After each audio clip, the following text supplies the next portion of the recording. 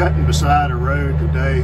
There's a barbed wire fence over there. I'm trying to stay out of it. I'm just taking it back to it. But you can kind of see ahead of me like this what I've got.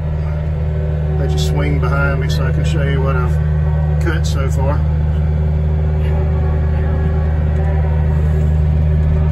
Pretty big difference, I would say.